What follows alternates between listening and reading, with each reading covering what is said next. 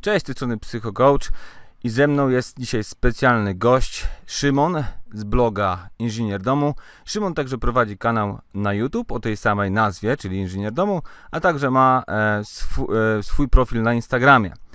Cześć Szymon. Cześć, cześć. Bardzo mi miło, że zechciałeś dzisiaj e, tutaj na moim kanale udzielić wywiadu. I dzisiaj porozmawiamy sobie e, na bardzo ciekawe tematy. Poruszymy tematy technologiczne, ale też tematy związane z umiejętnościami, e, umiejętnościami miękkimi. I teraz, Szymon, może przedstaw się tutaj moim widzom. Oczywiście też zostawimy wszystkie linki do Twoich tutaj kanałów społecznościowych oraz Twojego bloga. Szymon, powiedz nam, czym dokładnie się zajmujesz i skąd nazwa właśnie inżynier domu? Jasne. E, no to tak, e, ja jestem zawodowo programistą na co dzień, po prostu chodzę do biura kodzić. E, programistą embedded, czyli te programowanie związane z elektroniką. Programuję mikrokontrolery, inne układy, które łączą się najczęściej z czymś fizycznym poprzez elektronikę. E, blog Inżynier Domu powstał już ponad dwa lata temu. Mm, chodziło o to, że najczęściej swoje jakieś tam umiejętności, nie tylko programowanie, ale właśnie elektronika czy majsterkowanie, e, wykorzystywałem w domu, w takim otoczeniu najbliższym mnie, czy to coś dla roślin zbudowałem, czy coś e, sobie mm, ułatwiłem w kuchni nawet. Wszystko to zacząłem robić i kolega, który wtedy ze mną mieszkał, współlokator, stwierdził, że nie jestem takim inżynierem, ale domu, bo wszystko to, co, co wykorzystuję, coś nauczyłem na studiach i w życiu, wykorzystuję dla domu. Więc e, tak wymyślił i stwierdził, że fajnie byłoby się tym podzielić. No, stwierdziłem, kurde, no w sumie tak, lubię taką ideę dzielenia się wiedzą i umiejętnościami, więc e, założyłem blog Inżynier Domu, żeby dzielić się swoimi projektami i wiedzą. A potem okazało się, że to się przyjęło i e, możliwości miałem z pracy choćby i z innych firm, które zauważyły ten blog i chciały to wspierać, e, żeby wpaść na parę wydarzeń i zorganizować coś swojego w formie właśnie warsztatów, które są w pełni darmowe dla mm, uczestników. Więc to tak w skrócie. Okej, okay. to, to, to jest prawda, że właśnie w dzisiejszych czasach, żeby ludzie o tobie usłyszeli, to musisz wykorzystywać odpowiednio internet, prawda? Więc u ciebie z, zaczęło tak. się od bloga, a teraz zauważyłem, że kanał na YouTube chyba istnieje dopiero od jakiegoś czasu, prawda? Tak, tak, tak. E, stwierdziłem, że to jest takie mm, powiedzmy fajny, fajny dodatek do, do bloga treść wideo i wiele rzeczy, które czasami trudno jest e, zapisać w formie jakiejś takiej kompaktowej notki, gdzie są screeny, e, gdzie jest tekst i pomieszane jest to wszystko potem screeny z tekstem. Łatwiej zrobić tak naprawdę w pięciominutowym filmie. E, no i wtedy można tego materiału upchnąć tak naprawdę więcej, pokazując coś krok po kroku, bo widziałem to na warsztatach, kiedy coś opisywałem, coś pokazywałem u siebie, tak, tak e, pokrótce. Mm, I ktoś się z tym e, gubił, ale jak to pokazałem u niego na komputerze szybko i zobaczył to krok po kroku, e, to było o wiele łatwiej, więc zrozumiałem, że takie coś jest potrzebne, taka forma wiedzy właśnie, wideo, więc dlatego założyłem YouTube'a i trochę teraz właśnie swoich mocy przerobowych kieruję w YouTube'a. No widzicie, na, moi drodzy, drodzy widzowie, że w dzisiejszych czasach, żeby przebić się ze swoimi umiejętnościami, e, gdziekolwiek, to właśnie trzeba używać wszystkich kanałów komunikacyjnych, w szczególności, w szczególności social media. I tutaj myślę, że to był dobry krok z, e, Twojej strony, bo dzięki temu e, Twoi subskrybenci, subskrybenci będą mogli jeszcze więcej wyciągnąć z Twojej wiedzy, nie? Mhm. Dokładnie. No, a nie myślałeś o tym, żeby mm, ubrać to powiedzmy w kurs online? E, powiem tak, e, mam już napisany spis treści. E, czy to będzie kurs online, e, czy papier e-book, to się jeszcze okaże niebawem, ale to na razie tak skrywam, bo to się dopiero tworzy. No, rozumiem. No w dzisiejszych czasach, e, żeby postawić sobie platformę do kursów, to tak naprawdę wystarczy kilka kliknięć. Jeszcze kilka lat temu ja pamiętam, że to kosztowało horrendalne kwoty. W tej chwili jest taka wtyczka WP Idea, którą stawiamy sobie na WordPressie i możemy sobie zrobić własny kurs online, go gdzieś tam dystrybuować. Także e, są takie e, e, udogodnienia. Jakbyś potrzebował, to zawsze e, służę pomocą, bo, bo już tą wtyczkę testowałem. Okej, okay, dzięki. No. E, dobra, a powiedz mi, Szymon, e, tutaj bardziej dla Twoich, moich widzów bardzo będzie ciekawe, gdzie nauczyłeś się programować? Bo często dostaję takie pytania, jak zacząć, gdzie nauczyć się programować, czy w szkole, czy na kursach, czy z książek. E, gdzie ty zacząłeś swoją przygodę z programowaniem? Moja przygoda z programowaniem zaczęła się bardzo dawno temu, jeśli chodzi o jeśli stosunek do tego, jak jestem wiekowo, e, bo zacząłem już w podstawówce. Miałem swój pierwszy komputer wtedy, tam w którejś klasie, powiedzmy gdzieś to było może szósta klasa, e, czy nawet piąta. No i okej, okay, miałem ten komputer i hmm, nie miałem rodzeństwa, więc nie miałem z kim pograć sam niezbyt wiedziałem skąd pozyskać gry, więc średnio było zgranie na tym komputerze. Ale e, że mm, ojciec zajmował się sieciami komputerowymi, znalazłem książkę w domu e, Pascala, taką od zera. Nie miałem wtedy internetu, więc e, ta książka była taka jedynym moim źródłem informacji.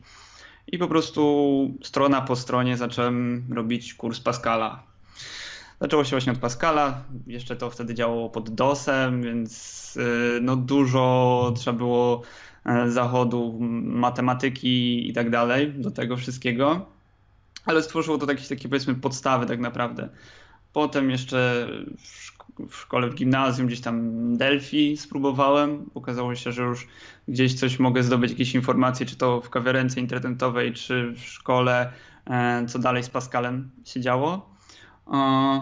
Potem miałem długą przerwę, bo w technikum jedynie troszeczkę poprogramowałem właśnie AVR-ów, bo mieliśmy możliwości w szkole, ale to była tylko taka krótka przygoda. Na studiach znowu zaczęło to wracać e, na metodach numerycznych pod postacią C-Sharpa. No i że miałem właśnie takie umiejętności z tego, co robiłem wcześniej, to zaczęło dość łatwo przychodzić.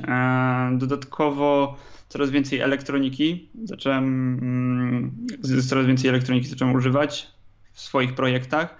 No i naturalnie w obecnych czasach sama elektronika nie wystarcza.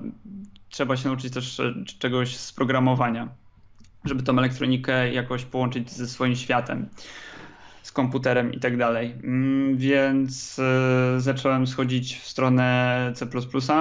Praca z elektroniką i z elektrotechniką nie sprawiała mi takiej frajdy jak z programowaniem, więc e, po jakimś czasie samodzielnie już się douczając C przerzuciłem się na programistę embedded. Rozumiem. A mm, co byś poradził, powiedzmy, młodym adeptom programowania, którzy e, mają przed sobą do napisania pierwszą linijkę kodu? Jak teraz ty podszedłbyś do, do takiej nauki? E, no to tak, e, dużo ludzi chce się uczyć programowania, widziałem po prostu programowania. E, no najpierw nim bym postawiłbym pierwszą linijkę, dokładnie bym się zorientował co chcę robić z tym programowaniem. Ja wiedziałem, że jest to programowanie związane z elektroniką, czyli no, zmusiło mnie to od razu do języka jakiegoś C, C++ i podejścia tak naprawdę związanego już z elektroniką. E, ktoś, kto chce robić e, aplikacje webowe, czy tam będzie bardziej we frontend chciał iść, no to tam będzie zaczynał od JavaScriptu i tak dalej. Więc najpierw cel, po co chcę programować, co chcę tym programowaniem osiągnąć, co, co będzie moim jakimś takim efektem końcowym a potem może w sumie kontakt z ludźmi, którzy, którzy się tym zajmują. Mm, teraz nie trudno mieć znajomego, który jest programistą. E, można go podpytać, co i jak, tak naprawdę, jakie tematy trzeba ogarnąć na początek. No i otworzyć już potem YouTube'a. Jakieś kursy dla początkujących są takie, nawet parogodzinne całe kursy, które można przejść lub y, na jakąś książkę kupić, czy, czy jakiś taki bardziej rozbudowany kurs, gdzie jest bardziej kompleksowa wiedza. No i można już z tym tak naprawdę lecieć do pewnego momentu, to daje dobry efekt. To prawda. Ja e, jakiś czas temu stworzyłem u siebie e, tutaj na kanale takie wyzwanie Python 30 dni i tam e, około 12 osób się zapi zapisało. Ja tam jeszcze nie jestem rozpoznawalnym, rozpoznawalną osobistością, jeżeli chodzi o Python, e, ale też skonstruowałem to wyzwanie nie jako typowy kurs, ale mm, zbiór pytań, które, na, e, na, które należy sobie odpowiedzieć właśnie przed, przed rozpoczęciem nauki, nie? żeby troszeczkę się zmotywować i obrać własną ścieżkę, żeby przede wszystkim wiedzieć, co jest możliwe mm, przy, przy wykorzystaniu takiego języka jak Python. Nie? I do, dopiero mhm. potem można, mo, można zacząć działać. Także rzeczywiście masz rację, no, no, te pytania e, powinny być na początku, a dopiero potem trzeba szukać kursów czy osób, które związane są e, z, z branżą, nie? Okej, okay, ja E, zobaczyłem na Twoim Instagramie, że także zajmujesz się takim urządzeniem, w sumie małym komputerem jak Raspberry Pi.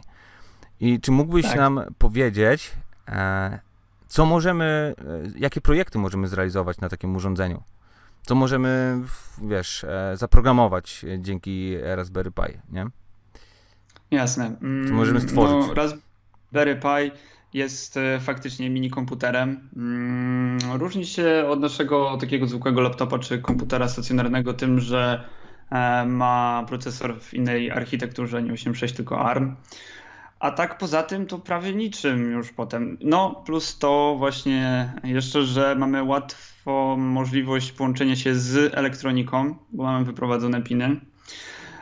I taki komputer jest na tyle mało prądożerny, można powiedzieć, że nie ma problemu, żeby chodził u nas w domu czy gdziekolwiek 24 godziny na dobę.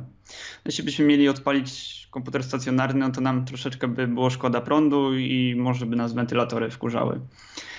A, więc y, każdy język programowania tak naprawdę możemy wykorzystać.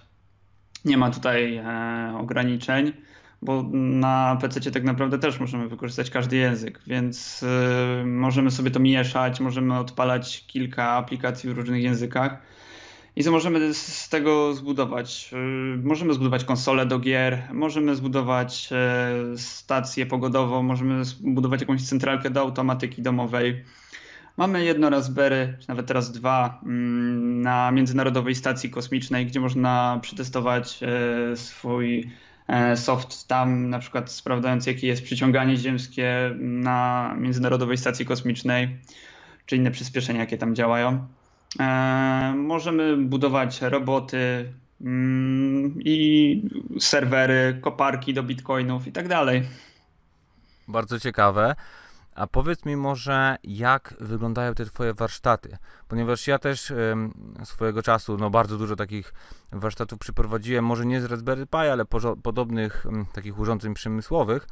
E, I to jest też ważne, żeby ten warsztat odpowiednio e, zorganizować, z tego względu, że często pojawiają się tam e, ludzie o różnych, wiesz, umiejętnościach programistycznych mhm. i y, różnym pojęciu. I, I, to jest y, często problematyczne, żeby każdy z takiego warsztatu wyszedł zadowolony, żeby coś wyniósł, y, wyniósł z tego warsztatu. Czy możesz powiedzieć, jak to organizujesz, jak, jak to wygląda od podszewki? Tak, tak. E, no, warsztatów już trochę organizowałem i z każdego na każdy zbieram jakiś tam feedback po warsztacie. No i przynajmniej mogę to faktycznie poprawiać, jeśli chodzi o formę warsztatów. E, no, osoby przychodzą faktycznie w różnym e, wieku, bo mm, potrafi być na jednym warsztacie e, osoba w wieku 14 lat i 54 lat. Mm, do tego różne zaawansowanie, faktycznie osoby, które już programowały i są zawodowymi programistami, ale na przykład w innych językach i w innych technologiach. Z osobami, które w ogóle pierwszy raz mają styczność z programowaniem i z elektroniką. Więc y, staram się, powiedzmy, dzielić tak zadania, gdzie zostawiam dużo otwartych furtek. Mm, na przykład y, pokazuję takie dość podstawowe zadanie, gdzie każdy sobie daje radę, ale już jest furtka dla kogoś, kto mm, potrafi to od razu rozwinąć, bo wie, jak, jak działa logika, jak działają języki programowania, w coś bardziej rozbudowanego. Więc y, często e, osoby, które wychodzą z warsztatów, zrobiły różne projekty, bo każdy już się na tym troszeczkę inaczej znał. Więc tak podejmuję temat tego, że są różne osoby różnie zaawansowane. Kod głównie mm, przygotowuje tak naprawdę. Mm, jest repozytorium i część kodu e, osoby pobierają mm, i polega to głównie na edycji już gotowego kodu, jeśli chodzi o to. Potem trzeba troszkę popodłączać e, elektroniki. To też e, trzeba wytłumaczyć jakieś podstawowe informacje i też są zawsze furtki, jeśli chodzi o rozbudowanie tego, bo przywożę trochę modułów, które to są prostsze w obsłudze, to trochę trudniejsze, jeśli chodzi na przykład o wykorzystanie różnych magistrali i tak dalej. Więc yy, robimy jedną rzecz na warsztatach, ale każdy może ją w różny sposób yy, rozwinąć. To też bardzo ciekawe podejście. E, tutaj też zauważyłeś, że często na takie warsztaty przychodzą osoby z różnych grup wiekowych i tutaj garść motywacji, bo Y, dostałem też pytania od osób, y, powiedzmy 50-latków, y, którzy nie mieli gdzieś tam styczności wcześniej ani z elektroniką, ani z programowaniem i chcieliby się tego, tego nauczyć. Ja zawsze podkreślałem, że można się nauczyć programowania w każdym wieku, nic nie stoi na przeszkodzie, wystarczy troszkę samozaparcia. E, Tony Hawk ostatnio w wieku 50 lat uczy się nowych trików, więc dlaczego wy nie moglibyście się w tym wieku nauczyć, prawda? E, programować. No, to, to, to jest to. Także fajnie, fajnie. Um, dobra, a powiedz mi, jaki projekt e, proponowałbyś dla początkujących e, programistów? Powiedzmy, no już jak już rozmawiamy o elektronice, to właśnie dla osób, które ch chciałyby zajmować się programowaniem elektroniki. Powiedzmy też programować Raspberry Pi. E, tak naprawdę projekt e, zawsze polecam, jeśli ktoś mnie pyta, jak, od jakiego projektu zacząć, to projekt, który będzie potrzebny. E, bo trudno robić projekt robota dla kogoś, kto totalnie się tym nie interesuje i nie będzie go wykorzystywał. Więc większość projektów zaczyna się od czegoś podobnego, od jakiegoś wejścia, jakiegoś wyjścia, jeśli chodzi o elektronikę od y, pierwszych y, linijek kodu, które coś y, obsłużą, wyświetlą i tak dalej, więc początek w wielu miejscach jest taki sam. Więc jeśli ktoś chce na przykład mieć zautomatyzowany dom, no to może spokojnie zaczynać od, od razu od jakiejś automatyki domowej. Jeśli ktoś y, lubi gry komputerowe i na konsoli, to czemu nie zbudować od razu konsoli na Raspberry Pi? Są gotowe projekty i, i opisane na takim poziomie, że a, szczegółowości, że ok, będziemy się gdzieś e, gubić, bo nie wiemy co to znaczy, ale to wszystko da się zawsze doszukać, bo Raspberry Pi ma taką moc właśnie, że społeczność związana z tym jest na tyle duża, że najczęściej jakieś problemy, na które trafimy, zostały już gdzieś rozwiązane przez kogoś i duża szansa, że opisane w sieci. Więc y, projekt na początek najlepiej taki, który będzie nam użyteczny, żeby nam się nie znudziło. Mm, to prawda i, żebyśmy mieli satysfakcję z tego projektu. Wspomniałeś już automa o automatyzacji. Jest taka książka Automatyzacja nudnych zadań z Pythonem i e, Python też świetnie nadaje się do e, programowania automatyki domowej, więc e, można, można tu wykorzystać ten język do zaprogramowania swojego Raspberry Pi i stworzenia jakiejś powiedzmy centralki do swojego domu. Dobra, to teraz może e, skończmy już tematy tematy z programowaniem. Jeżeli chcecie wiedzieć więcej, to zapraszam Was na bloga, jak się nazywa? inżynierdomu.pl Inżynierdomu.pl, no bez polskich liter. Inżynierdomu.pl bez polskich liter. Oczywiście pod tym filmikiem zostawimy Wam wszystkie linki e, do, do, do tutaj e, kanałów i blogów e, bloga Szymona.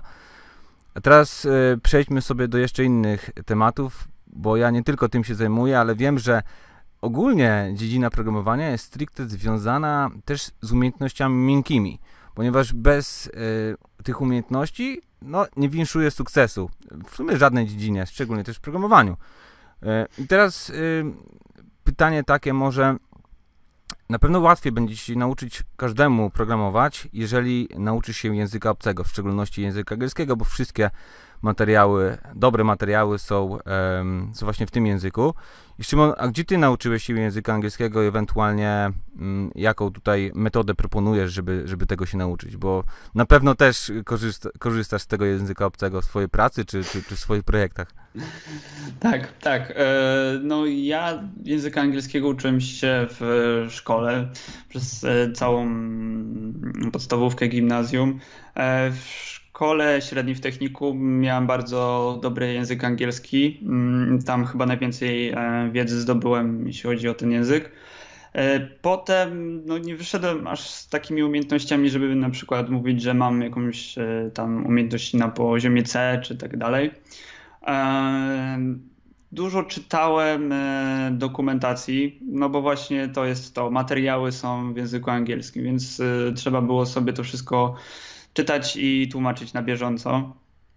Mm, no, potem się to utrwalało na filmikach na YouTubie, bo też najwięcej materiałów jest w języku angielskim tam. No i sam e, musiałem też pisać po angielsku wszelakie dokumentacje, bo programista niestety to też człowiek od dokumentacji często, więc masa dokumentów napisana po angielsku. E, kod no, raczej pisze się po angielsku, wszystko, e, komentarze i jakiekolwiek e, nazwy zmiennych i tak dalej, to wszystko po angielsku, więc w pracy potem, w praktyce. Tak, tak, to mi się wydaje, że to jest najlepsza metoda, też tak proponuję, po prostu rzucić na głęboką wodę, E, i, i po prostu w praktyce zdobywać te umiejętności porozumiewania się w tym języku. No ja też przewertowałem multum dokumentacji w, w języku angielskim, a, raz nawet y, zdarzyło mi się y, analizować dokumentację w języku francuskim, chociaż y, no kiedyś się w podstawówce uczyłem tego, ale czasami się tak zdarza. E, Okej. Okay.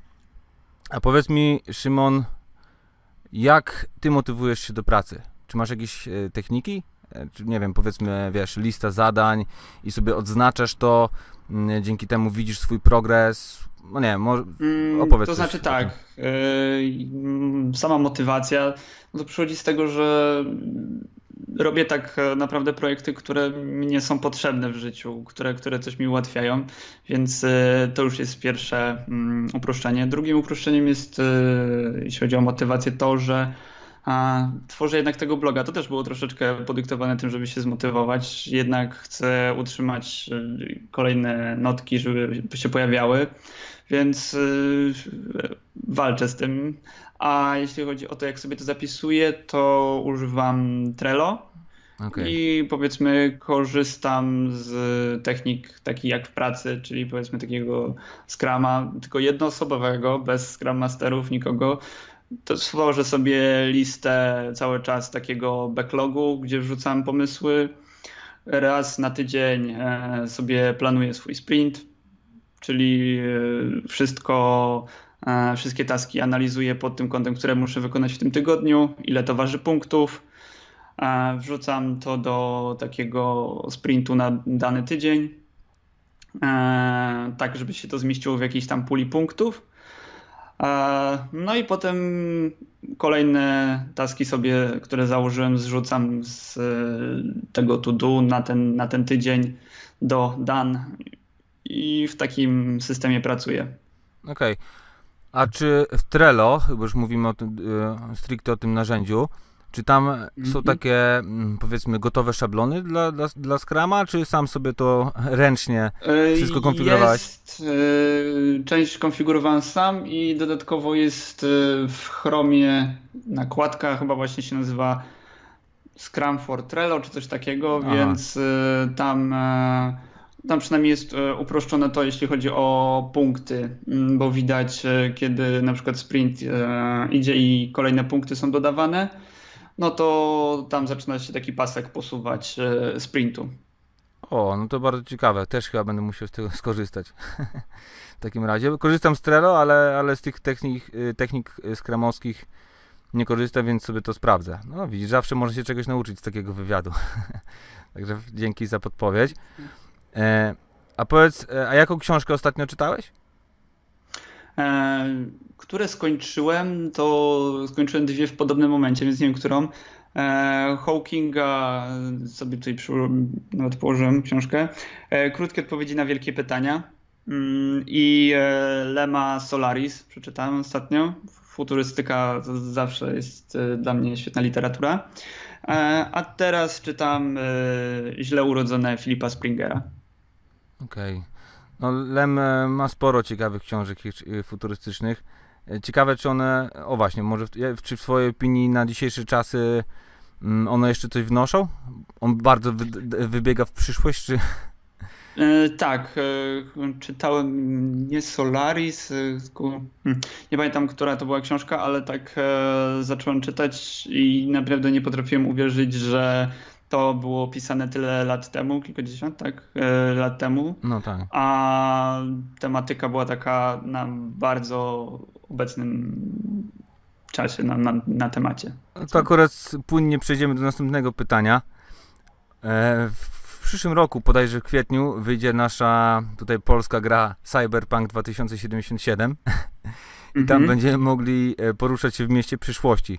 Więc może e, dla Ciebie pytanie, jak według Ciebie e, będzie takie miasto przyszłości wyglądało za powiedzmy dekadę albo za, za, za, za 100 lat? No, z powodu tego, że dużo pracuję z IoT, mm, co jest taką teraz no tak mocno gałęzią w programowaniu embedded. E, też Smart City jest e, dla mnie takim tematem cały czas obecnym. E, więc no, miasta przechodzą dość mocno teraz taką transformację pod wpływem technologii, bo powiedzmy technologia jest teraz o wiele bardziej skalowalna właśnie nawet na, na miasta. Myślę, że miasta staną się takim środowiskiem, do którego też będziemy musieli się przystosować coraz bardziej. No, te technologie będą miały wpływ teraz mocny na rozwój miast. Miasta będą się stawały coraz większe, będą miały nowe problemy komunikacyjne, czy to z dużą ilością właśnie ludzi w mieście. Będą na pewno nowe problemy związane z E, ekologią choćby. Więc e, miasto będzie musiało być e, dość mocno kontrolowane, czyli na przykład pod tym, ile ludzi w danym miejscu się przemieszcza, czy są jakieś duże korki, czy są problemy z wodą, czy z kanalizacją, czy z prądem. To teraz będzie musiało być bardziej dokładnie śledzone, ponieważ może pójść, jakby to powiedzieć, efekt domina na troszeczkę większą skalę niż kiedyś. No ale także my musimy się do tego przyzwyczaić na pewno, ponieważ e, w świecie, gdzie panuje IoT, no, stajemy się coraz bardziej częścią danych i te dane są wykorzystywane też w takiej formie na przykład reklam, prawda? Będą te reklamy nas coraz bardziej atakowały z wszystkich stron.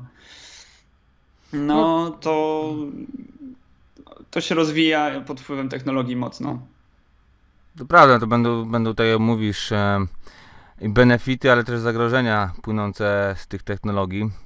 E, e, ale wydaje mi się, że e, tak naprawdę idea Smart City będzie się opierała na, na sieci 5G, bo chyba tylko wtedy będzie można zbierać na tyle dużo ilo, mm, na tyle dużo danych, żeby, żeby rzeczywiście móc efektywnie zarządzać takim miastem? Czy, czy, czy to nie jest jakiś tam wymóg?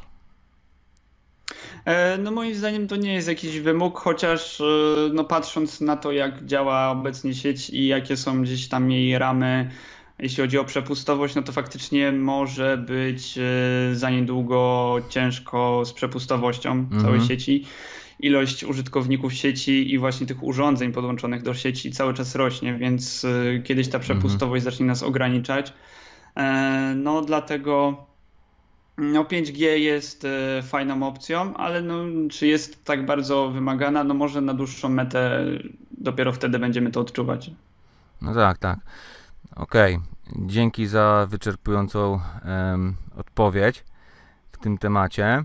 Ja czekam e, ze swojej strony tylko i wyłącznie na samochody autonomiczne, jeżeli chodzi, chodzi o to, bo y, ostatnio sporo jeżdżę, przez 8 miesięcy bodajże zrobiłem 40 tysięcy kilometrów i na pewno by mi ułatwiło to pracę, jakbym miał ze sobą samochód. To no, rozumiem. To, wiesz, e, wyciągam komputer i mógłbym spożytkować inaczej czas spędzając w samochodzie, a nie, a nie zajmując się tylko kierowaniem. Zresztą osoby w miastach, z tego co widzę, to zajmują się wszystkim, tylko nie zajmują się kierowaniem. Wiesz, malo, dziewczyny malują usta, faceci palą papierosy, patrzą w telefony.